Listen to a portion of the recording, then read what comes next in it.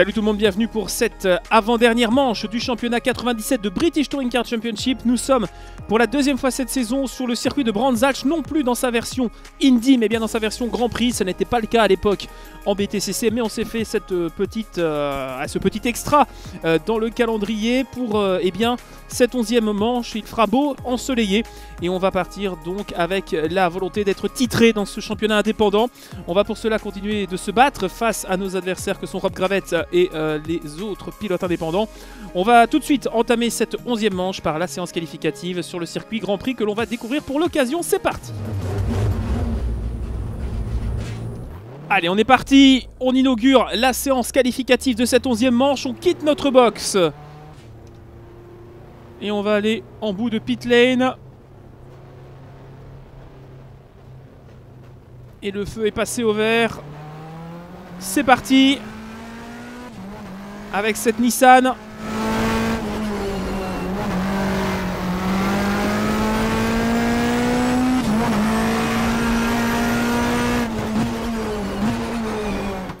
On passe la descente de Paddock Hill. L'épingle de Druids maintenant.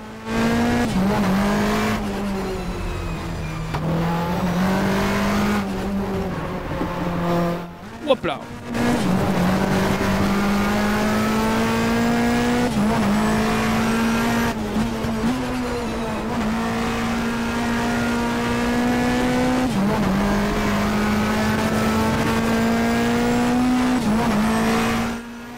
petit peu comment se comporte la voiture à haute vitesse dans la partie Grand Prix qu'on vient d'entamer. J'ai remis un petit peu les rétroviseurs euh, qui étaient manquants. Vous l'avez entendu et vu. Allez, en cinquième, la compression est pas mal avec ce setup. On passe en 4. Et ici donc euh, le secteur de, de qui nous a été euh, complètement détruit avec la suppression de la chicane. C'est dommage que ce Grand Prix euh, 90, cette version Grand Prix du circuit de Brands ne nous propose pas la chicane. Peu importe. Allez, la voiture est en température. On revient sur la piste Indy. On va s'élancer en espérant qu'il n'y ait pas trop de monde. Alors que là, on est allé tout seul comme un grand dans l'herbe. Pas mal de sous-virages sur la voiture. Allez, on va entamer un premier tour rapide alors qu'il y a une voiture qui quitte les box. C'est une Nissan usine.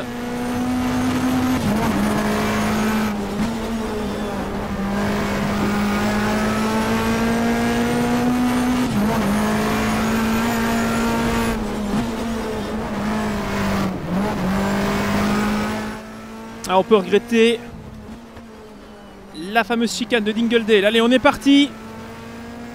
On va quitter la partie Grand Prix du circuit pour retourner sur la version Indy. Voilà, dans le pa- paddock Hill Bend, on va sans doute voir si on peut passer un peu plus vite qu'en tour de sortie, évidemment. On va déclencher notre premier chrono de cette séance qualificative en sixième. Et on met un 1.38 comme record, mais c'est normal, il n'y avait pas de chrono enregistré jusque-là. C'est le premier chrono de cette séance qualif. On repasse en second du côté de l'épingle du druide. Allez, on a perdu un peu de temps.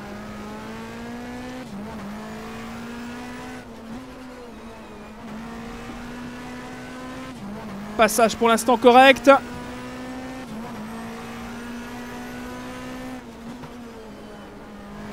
Va rester en troisième pour la remontée. On passe sur le circuit Grand Prix.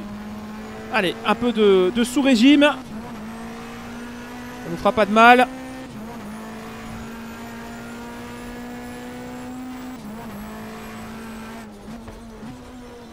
En quatrième dans le premier droit. On pourrait passer en 5, mais j'ai pas envie d'avoir de sous-régime.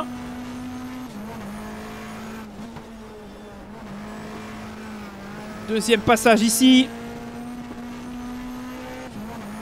Donc ça va très très vite. Dingledale s'est passé sans trop de difficultés. est en train de réaliser un beau tour dans cette première tentative. 15e position maintenant. Avec le chrono qu'on a fait juste avant. C'est normal. On va sans doute remonter un petit peu dans la hiérarchie à l'issue de ce tour. Et on va attaquer avec euh, une deuxième boucle qui suivra juste après. Et on est en 14e position. On reste en 4 dans la descente.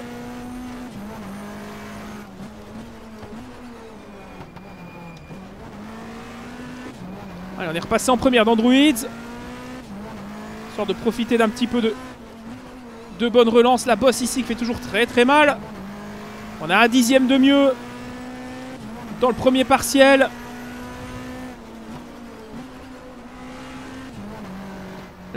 La, deuxième était peut-être un peu inutile. On a perdu plus de temps qu'autre chose. Allez, 9 centièmes de mieux.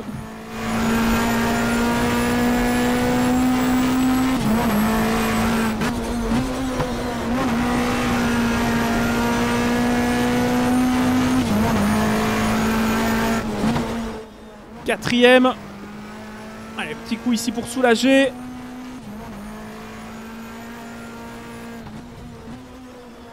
Le passage de Dingledale en troisième. Un petit passage en quatrième avant de rester ici en troisième pour le gauche. On attaque bien.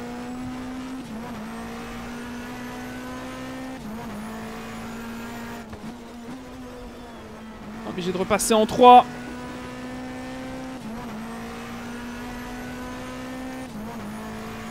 Et le verdict du chrono, on a fait un beau tour. On se place en 15e position. Dernière tentative, après on n'aura plus de carburant.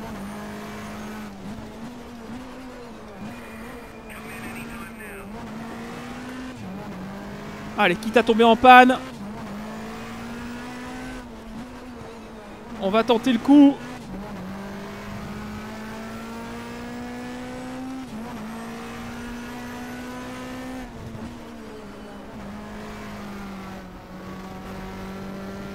Reste en 3. 4 dixièmes de mieux. Excellent premier partiel pour le moment. Là, on attaque très très fort. Il va rester euh, un litre dans la voiture au passage du transpondeur.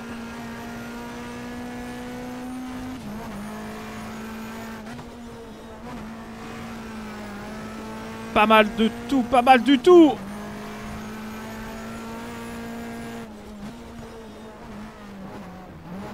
Allez, Dingledale en quatrième. On a tenté le coup. On va voir ce que ça va donner.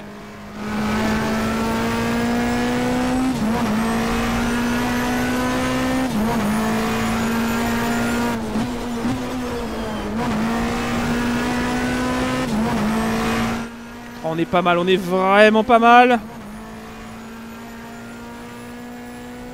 On va faire un beau chrono. Dixième temps. Dixième temps provisoire, c'est pas mal. C'est pas mal, j'espère qu'on va pas chuter non plus au dernier rang avec ce chrono là parce qu'on s'est un peu démené pour aller le chercher. Ce 1.32, on va laisser passer Franck Biella, je crois. Je crois que c'était lui, non c'était Bincliff. Et Patrick Watts. Et bien voilà, pour cette séance qualificative, on va en rester là et on va passer à l'avant-dernière course de la saison. C'est parti Le visage de l'avant-dernière grille de départ de cette saison est connu. C'est de nouveau Franck Biella sur l'Audi qui est en pole position devant les deux Renault de l'équipe Williams avec à la menu devant Jason Plateau, quatrième habituel.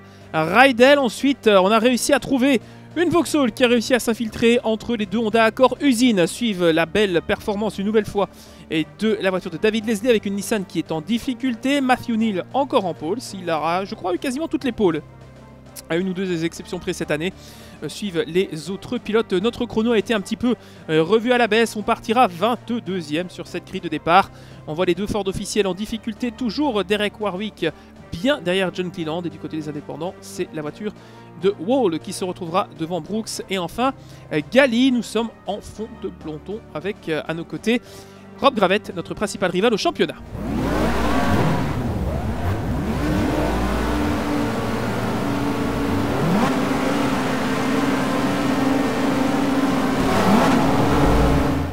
Et le départ de la 11e manche de cette saison de BTCC qui vient d'être donné ici à Brandzach. C'est parti donc pour 12 tours sur la piste. Grand Prix. Et on prend un départ plutôt correct. On est à l'extérieur, on peut gagner quelques positions. On arrive à se faufiler. Et on a touché Jamie Wall. Drapeau jaune d'Androids. On est en 17ème place. Et on va aller chercher peut-être déjà là, nous l'autre pilote dans la descente. 17ème place, on est derrière Jimmy Wall, donc avec la cavalier.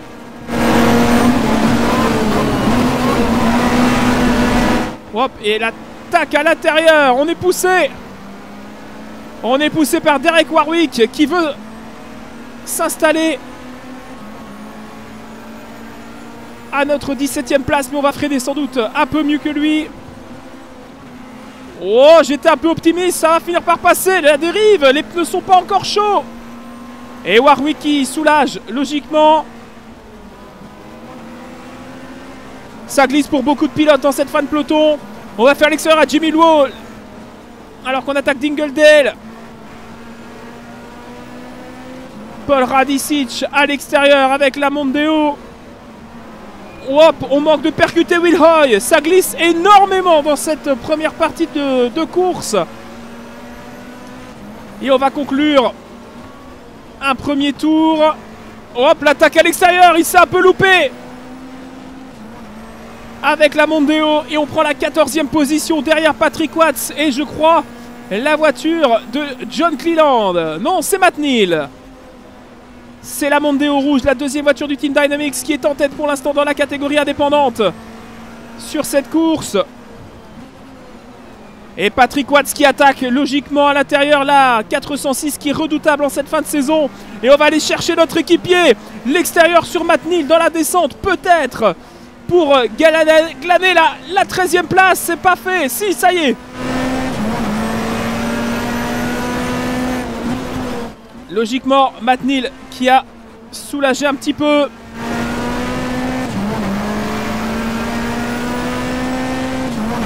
Le passage pour la deuxième fois dans la partie Grand Prix de ce circuit, la descente. Incroyable. Le passage ici. Hop, gros, gros survirage, vous l'avez vu. On a manqué de mettre la voiture en travers. Et le rail n'est jamais loin ici à Abranzach. On va tenter d'attaquer un peu à Dingledale maintenant que les pneus sont chauds. Pour revenir sur la voiture devant nous, la 406 de... Je crois Patrick Watts. Ouais, ça doit être Watts devant là, à la, à la 12e place. Tim Harvey plus haut. Beaucoup plus haut d'ailleurs. Dans le peloton, il se bat avec John Cleland là-bas devant. Et John Bincliffe est à la bagarre également pour tenter de conserver sa 11e position face à l'une des Nissan Primera officielles. Ça bouge énormément en ce début de course. Et en un tour, on est remonté au 13e rang provisoire. On continue d'attaquer. Oh, et Bincliffe qui s'est loupé.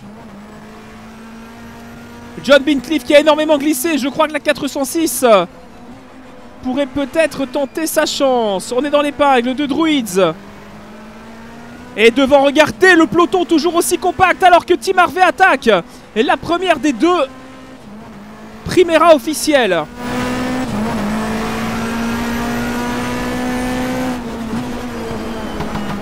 Faut rester focus. Patrick Watts va au chausse-pied sur John Bincliffe.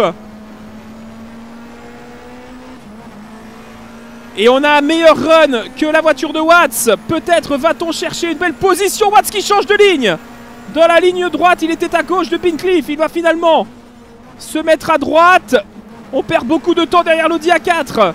Énormément de temps. On a passé Patrick Watts. Est-ce qu'on va aller chercher la 11e place? On pousse John Bincliffe qui est très très lent là depuis quelques minutes. C'est chaud au-delà du top 10. Oh, Cliff à gauche et il cède dans Dingledale. On va compléter. Allez, ce troisième tour de course. Aux portes des poids, il y a une voiture qui s'est loupée. Il y a une Honda qui s'est loupée, sans doute Gabriel Tarquini qui a perdu une position face, je crois, à la Volvo de Ricard Reidel qui a pris aussi un envol plutôt moyen. Troisième boucle couverte. Deuxième descente dans Paddock Hill qui se passe sans aucun problème pour nous. On est très très bien toujours en sortie. Et tout le monde est arrêté dans Druids. Qu'est-ce qui s'est passé? Anthony Reid à l'extérieur. Et Reed ne peut pas croiser.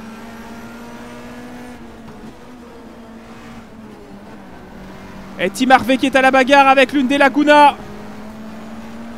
John Cleland, le champion 95, avec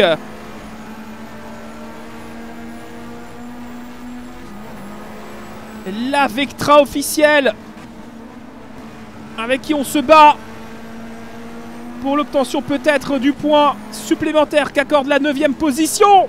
Et on fait l'intérieur et ça passe On a déposé John Cleland sur ce, sur coup-là. Attention parce que devant il y a une Renault qui est en, en difficulté. Tarquini également. Tarquini qui perd des plumes. Ricard Rydell qui s'est complètement loupé. Il était quatrième sur la grille. Il est en huitième position. Mais qui est devant alors? Qui est devant? Et regardez la voiture de Tim Harvey qui est capable d'aller chercher la Laguna. Ah, course assez particulière pour cette onzième et avant-dernière épreuve. Il reste 8 minutes 20 au chrono de cette course. Et ça plonge pour John Cleland. On ne peut rien faire avec le grip de la voiture si ce n'est être meilleur à la réaccélération.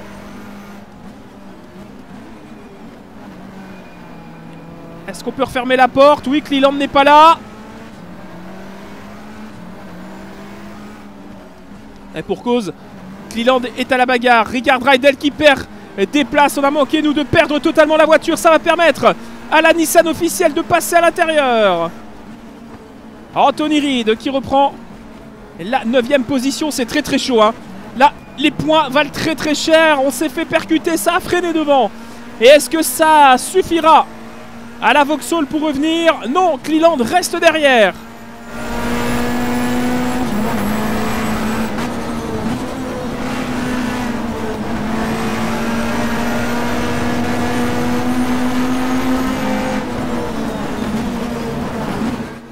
On est quasiment arrêté Et Anthony Reid qui s'est sans doute fait percuter par euh, John Cleland. Oh, et un pare-choc vient de voler.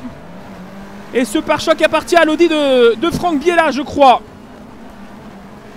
Hop On était ralenti pour Anthony Reid. On va faire l'extérieur, ça passe Les Audi sont en train de boire la tasse. Ricard Rydell, toujours septième. Tarquini qui s'est un peu loupé à la relance. On en profite peut-être à l'intérieur sur le pilote italien. Le champion 94 qui résiste, mais ne peut croiser.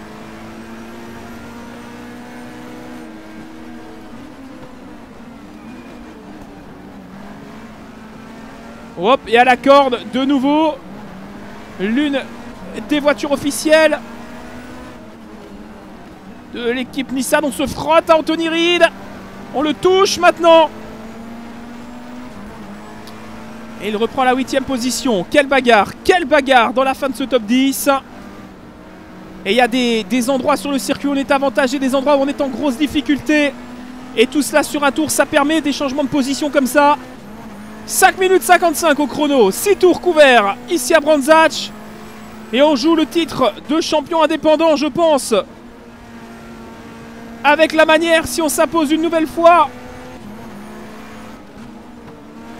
Je pense que ce sera bon. Ricard Rydell en grosse difficulté avec la Volvo S40. On est très prudent, on est très prudent. Pas trop envie que la voiture m'échappe au dernier moment. Franck Biella qui est à l'agonie avec sa voiture.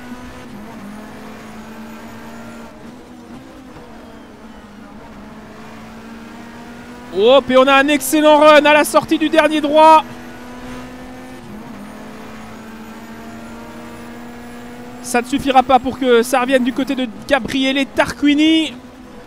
Là, par contre, ça suffit à Tarquini pour passer dans Paddock. Et on croise avec l'Italien.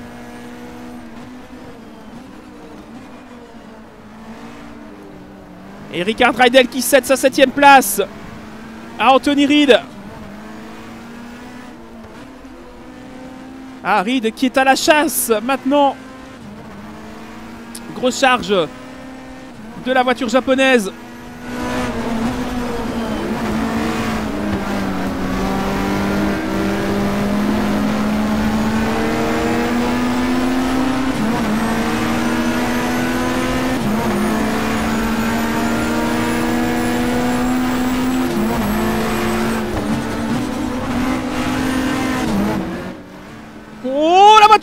On a réussi in extremis à la récupérer.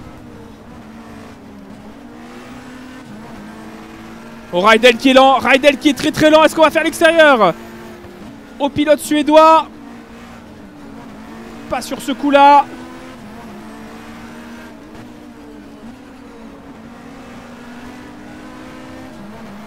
Là, c'est nous qui avions loupé notre relance. De quoi permettre à Gabriel et Tarquini de récupérer la 9 position pour le moment.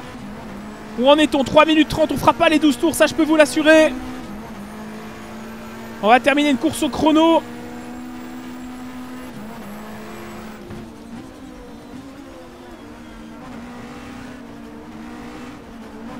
Allez, les deux se sont loupés.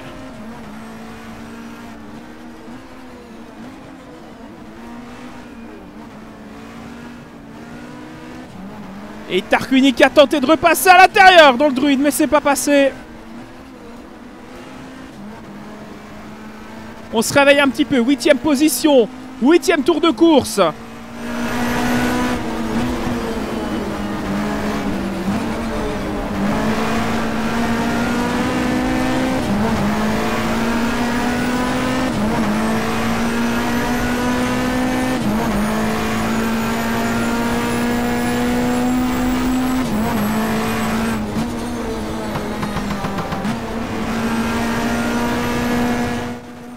On est large. Ouais, la voiture qui commence à avoir des pertes au niveau de, son grip. À l'arrière, les pneus qui commencent à s'user. 2 minutes 30 dans l'épreuve. Et incroyablement, Franck Biella, toujours sixième avec la Quattro. Ça, c'est l'événement quand même. La position de Franck Biella.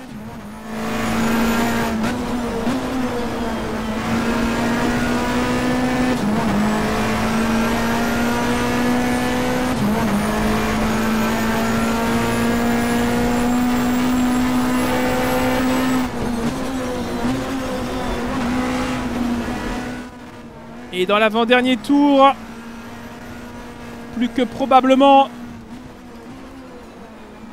Franck Biella qui va céder aux assauts de la voiture d'Anthony Reid.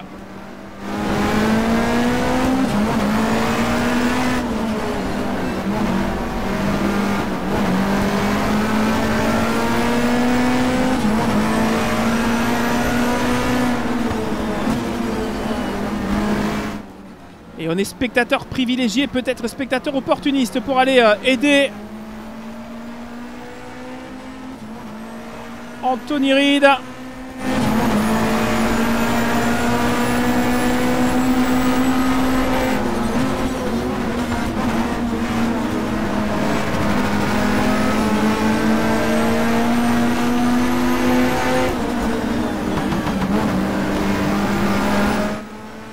Et côte à côte, Reed qui lâche.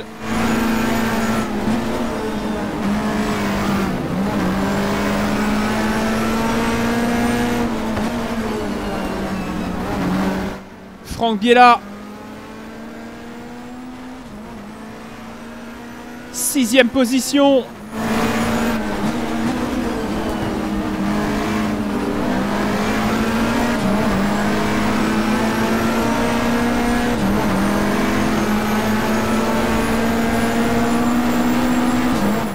Entame le dernier tour de course.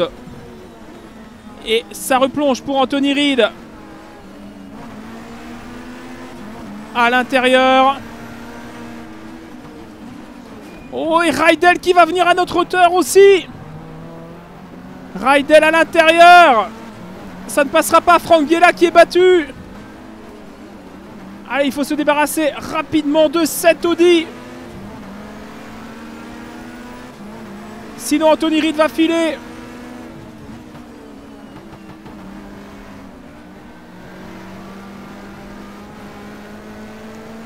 Passage musclé, on se débarrasse, si je puis dire, de Franck Biella.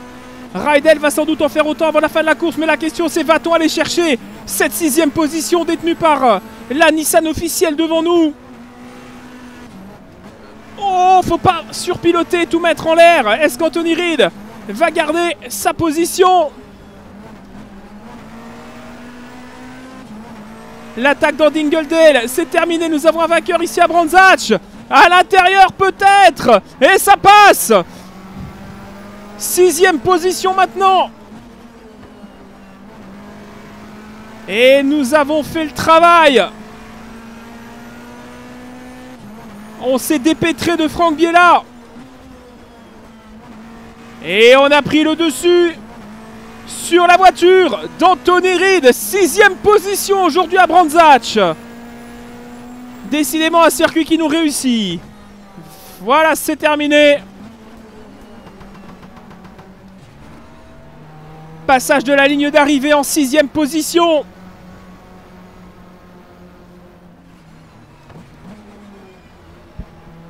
Eh bien, on aura profité des conditions de course avec Franck Biella qui était vraiment en difficulté. On retire les gants, histoire d'aérer un petit peu les mimines qui en ont bien besoin.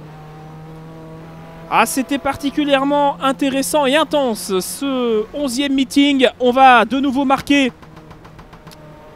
deux gros points et on s'assure désormais le titre de champion d'Angleterre indépendant. Le titre est acquis. Et le classement dixième au championnat va être aussi assuré. Il va rester 15 points à prendre pour le vainqueur à Silverstone. Une ultime manche qui s'annonce assez euh, dantesque euh, puisqu'on a annoncé de la pluie du côté de Silverstone, c'est la petite surprise. Une finale sous la pluie sur la version Grand Prix du tracé que l'on va retrouver dans le 12e et, dernier round de cette saison. On va quand même la ramener hein, à la maison. Et on va découvrir aussi le classement général. Et indépendant, on ne sait pas qui est en tête à ce moment-ci de la, course, évidemment. C'est toujours un peu la surprise. On a vu que les Renault étaient pas mal. C'est pas une Audi qui a gagné. Ça c'est clair, donc c'est sûrement les deux, les deux Laguna.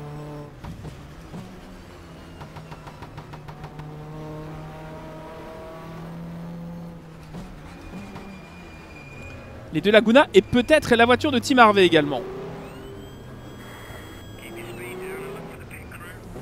Effectivement, si on prend les résultats de cette course, c'est donc la Renault de Jason Plateau qui s'est imposée devant James Thompson, la première des deux Honda à corps officiel.